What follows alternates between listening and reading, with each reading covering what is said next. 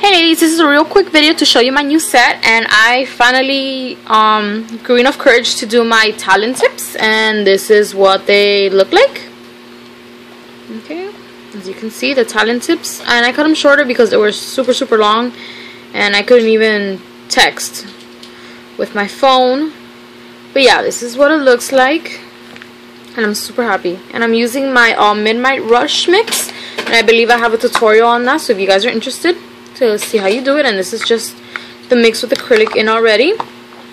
And I use some fairies I got um some cute little bows. I believe I got these from Jamie from her one of her grab bags I believe. And some um rhinestones AB stones that I showed you guys that I bought from eBay. And that's what it looks like on the nail. Okay as you can see it has like a talon to it see and these are the tips right here. I'm going to show you guys real quick. If I can open it. Okay. And this is what they look like. Get one of them here. Oh, here so I can show it to you. And yeah, this is what it looks like.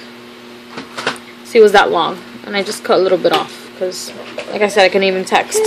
But yeah, but I'm very happy that I actually um, grew the courage to do these and I'm so happy how they came out.